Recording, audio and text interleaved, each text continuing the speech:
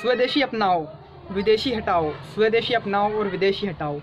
क्या है ये? अब से सौ साल पहले महात्मा गांधी जी ने कहा था, स्वदेशी अपनाओ और विदेशी हटाओ। जी हाँ दोस्तों, उस वक्त पर ये खादी के बारे में कहा गया था। खादी एक कपड़ा होता है, लेकिन अब इस बार चाइनीज़ प्रोडक्ट की बात है।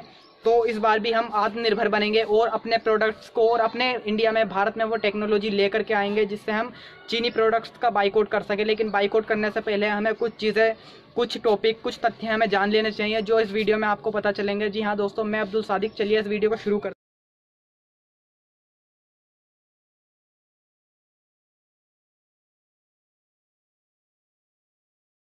करते हैं। पिछले पाँच वर्षों में चाइना ने अपने प्रोडक्ट्स इस प्रकार लॉन्च किए हैं। भारत में भारत का हर एक भारत का हर एक नागरिक चाइना के प्रोडक्ट्स का अधीन हो चुका है। जी हाँ दोस्तों, सुबह के एक टूथब्रश से लेकर के रात के यूज़ करने वाले फ़ोन तक हमारे पास चाइनीज़ प्रोडक्ट हैं। अगर बात की जाए ऐसे चीज़ों की तो हमारे पास हर चीज़ चाइना की मिलेगी, क्योंकि चाइना के पास वो टेक्नोलॉजी है जिस जो वो दूसरों को गुलाम बना सकता है अपना। हमारे पास अब या किसी और देश के पास वह टेक्नोलॉजी नहीं है, क्योंकि चाइना के पास ऐसे, उसने अपना प्रोडक्शन कुछ इस प्रकार बढ़ाया है, कम पैसों में ज़्यादा यूटिलिटी मिले, लेकिन किसी और देश के पास वो टेक्नोलॉजी नहीं है जो कम पैसों से ज़्यादा यूटिलिटी प्रदान कर सके गरीब लोगों को। जी हाँ दोस्तों, अगर हमारे पास भी वह टेक्नोलॉजी होती तो हम चाइनीज़ को क्यों करेंगे? हम चाइनीज़ प्रोडक्ट क्यों खरीदेंगे? हम अपनी स्वदेशी अपनाएँगे अगर हमारे पास सस्ती चीज़ में हमें उतनी यूटिलिटी प्राप्त होती है। तो दोस्तों, चलिए इसी बात पर टॉपिक कर, इसी टॉपिक पर आज चर्चा करते हैं।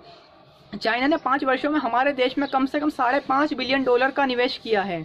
और अगर बात की जाए एफडीआई यानी फॉरेन डायरेक्ट इन्वेस्टमेंट जो चाइना ने हमारे स्टार्टअप्स में किया है अगर बा, हम बात करें तो उनतीस में से 16 16 स्टार्टअप में चाइनीज़ का पैसा चाइना का पैसा लगा हुआ है और वह कुछ पैसा चाइना का पैसा लगा हुआ है और वह कुछ इस प्रकार है फ्लिपकार्ट ओला स्विगी जोमेटो और बायजूस इंडिया में इंडिया में इन्वेस्ट कर रखा है। जी हाँ दोस्तों, अगर बात की जाए स्मार्टफ़ोन इंडस्ट्री या फिर सोशल मीडिया की तो सबसे बड़ा ऐप सबसे ज़्यादा पसंदीदा भारतीयों का ऐप टिकटॉक टिकटॉक एक चाइनीज़ ऐप है।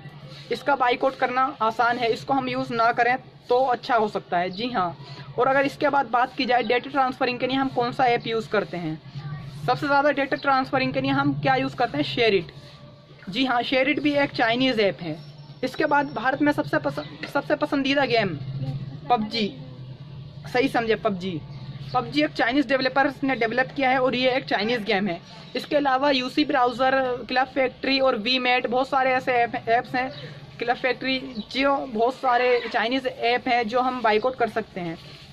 इसके साथ साथ अगर बात की जाए स्मार्टफ़ोन इंडस्ट्री की तो दोस्तों स्मार्टफ़ोन इंडस्ट्री ने भारत में सत्तर प्रतिशत मार्केट शेयर पर कब्जा किया हुआ है। अगर भारत में एक हज़ार फ़ोन बिकते हैं तो उसमें सात सौ फ़ोन चाइना के बिकते हैं। चाइना के फ़ोनों की कंपनी कुछ इस प्रकार है रियलमी ओप्पो वीवो श्योमी और अगर तीस प्रतिशत फ़ोन बिकते हैं तो वो एप्पल और सैमसंग और अदर्स कंपनीज़ के बिकते हैं। यही नहीं कि हम हर चीज़ आज चाइना की यूज़ करते हैं। चाइना की चीज़ यूज़ क्यों करते हैं? क्योंकि हमारे पास वह टेक्नोलॉजी नहीं है। जैसा अभी हमारी सरकार ने निर्णय लिया है कि हम आत्मनिर्भर बने। आत्मनिर्भर बनने से क्या तात्पर्य है? दोस्तों, आत्मनिर्भर बनने का मतलब ये नहीं होता कि हम विदेश, हम चाइनीज़ प्रोडक्ट का बाइकआउट करें। सबसे पहले हमें अपने देश में अपने पास वह टेक्नोलॉजी डेवलप करनी होगी जो हम अपने देश को आत्मनिर्भर बना सके। हमारे पास अभी वह टेक्नोलॉजी नहीं है। अगर फिर भी हम चाइनीज़ प्रोडक्ट का बाइकआउट करते हैं और जो लोग चाइनीज़ प्रोडक्ट का बाइकआउट करने की बात करते हैं तो दोस्तों, वह खुद चाइनीज़ फ़ोन चाइनीज़ स्मार्टफ़ोन और चाइनीज़ प्रोडक्ट यूज़ करते हैं। बात तो जब है ना, जब हम खुद यूज़ ना करें और दूसरों से बाइकआउट की बात करें, ऐसा अच्छा नहीं लगता। अगर हम खुद चाइनीज़ फ़ोन यूज़ करते हैं या चाइनीज़ प्रोडक्ट यूज़ करते हैं और हम दूसरों को सलाह दें कि आप बाइकआउट कीजिए, ऐसा कुछ नहीं है। अगर हमें बाइकआउट ही करना है तो सबसे पहले हम करें, फिर बाद में दुनिया करेगी। बाइकआउट करने का मतलब और आत्मनिर्भर बनने से यही तात्पर्य है कि हम अपने देश में वह टेक्नोलॉजी लाएँ। हमारे देश का युवा, हमारे देश में सबसे ज़्यादा जनसंख्या युवा पीढ़ी है। जी हाँ दोस्तों, सबसे ज़्यादा टीनेजर्स हमारे देश में है, सबसे ज़्यादा। तो हम चाहें तो वह टेक्नोलॉजी अपने देश में लेके आ सकते हैं। इसी का तात्पर्य हमारे हमारे गवर्नमेंट ने लिया है कि आत्मनिर्भर बनो। आत्मनिर्भर बनने से यह तात्पर्य नहीं होता कि हम विदेशी अपनाएँ और स्वदेशी छोड़ दें। सबसे पहले हमें वह टेक्नोलॉजी अपने यहाँ पे डेवलप करनी होगी, उसके बाद हम छोड़ने की सोच सकते हैं।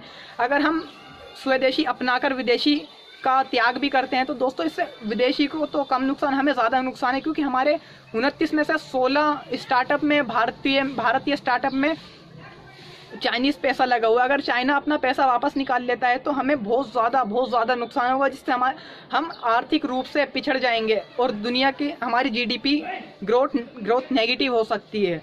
जी हाँ दोस्तों बाइकआउट करने से पहले आपकी क्या राय है, हमें कमेंट सेक्शन में बताइए। अगर बाइकआउट करना चाहते हैं तो आपको कुछ देश हित के लिए ऐसा करना होगा, ऐसी टेक्नोलॉजी डेवलप करनी होगी जिससे हमारा देश आगे बढ़ सके और चाइना के साथ टक्कर ले सके। जी हाँ दोस्तों, जय हिंद, आपके साथ मैं अब्दुल सादिक और आप देख रहे हैं education techno thank you for watching my full video